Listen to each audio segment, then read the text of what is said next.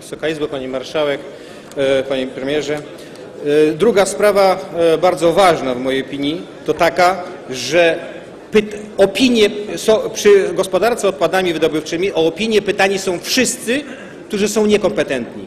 Jedyna osoba, która jest kompetentna w powiecie w tym zakresie jest geolog powiatowy. I tutaj pytania nie ma. Więc jakiego rodzaju wreszcie ma być to gospodarka odpadami?